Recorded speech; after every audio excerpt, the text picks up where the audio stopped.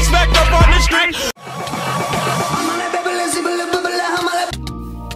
When you try your best, but you don't.